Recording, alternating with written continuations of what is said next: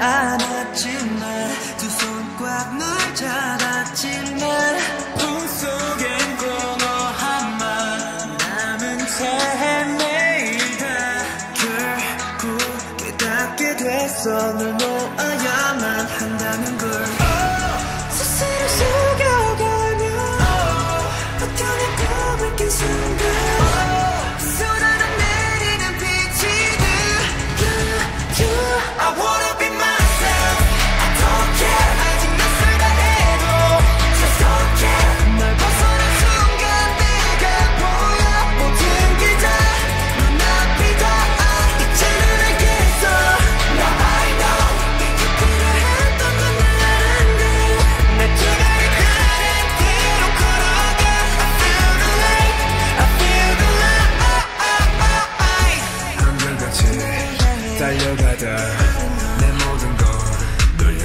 너에게 가까이 갈수록 점점 더 날 잃어갔어.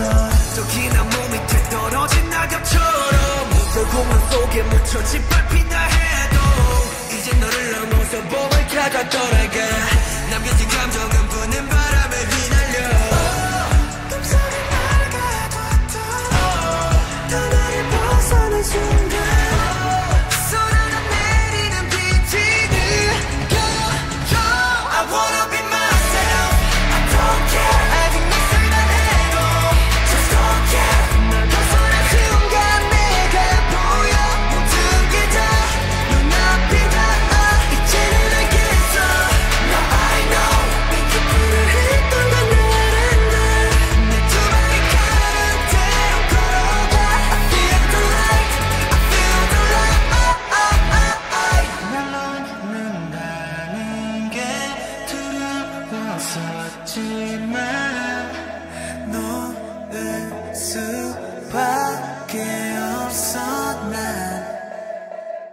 It's all good now